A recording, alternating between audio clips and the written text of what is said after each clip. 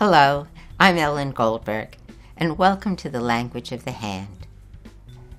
Today we're going to take a look at the headline. The headline is this middle line that goes across the palm, starting from the edge where the thumb is and moving along outward towards the percussion. The longer the headline, the more intelligence the person has. But a headline doesn't have to be extremely long to be very serviceable, because just as important as the length of the headline is what we call the clarity of the line. If the line is deep and clear, even if it's shorter, it's usable. A line could be very long. Some of them go all the way out to the percussion. Some of them go all the way down to where the unconscious and imagination lies on the mount of the moon. But if that line is thin, defective, broken, or in some other way not very usable, then all that intelligence is not usable. So it's a toss up. Every once in a while, you'll get to see a hand. Here we're going to put up the image of Einstein's hand, where the headline is both clear and long and has the extra feature at the end of having a fork on it so that he always sees two sides of everything. Not only that, his headline, just as in the one that I've drawn on my easel here, never touches the lifeline. Those show independent thinkers.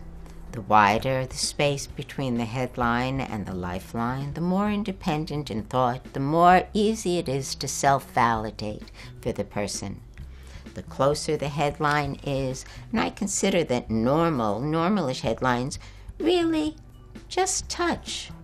Because we're all dependent in our youth.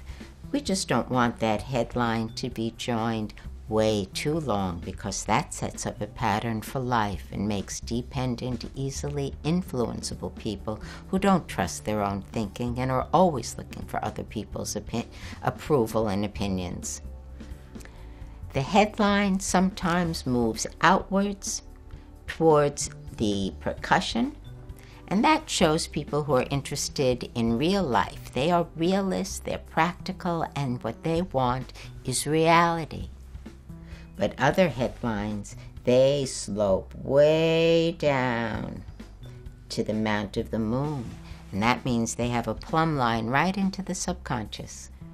These people are intuitive, psychic, and even if they don't have a very strongly developed mount to the moon, say it's not very full and padded, they're still very influenced by the lunar or moon characteristics, dreamy, imaginative, psychic, because their headline goes directly into the mount.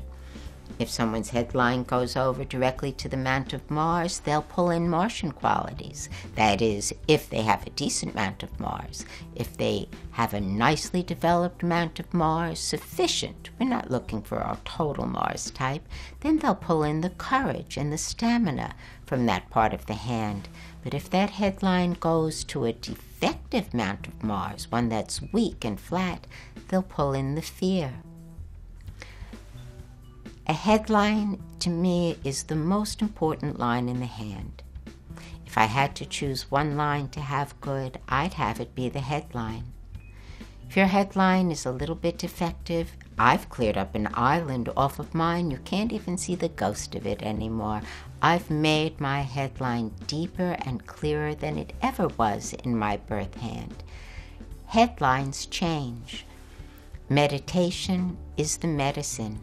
You know, the word meditation and the word medicine came from the same root, mediere, to find the right inner balance or right inner measure.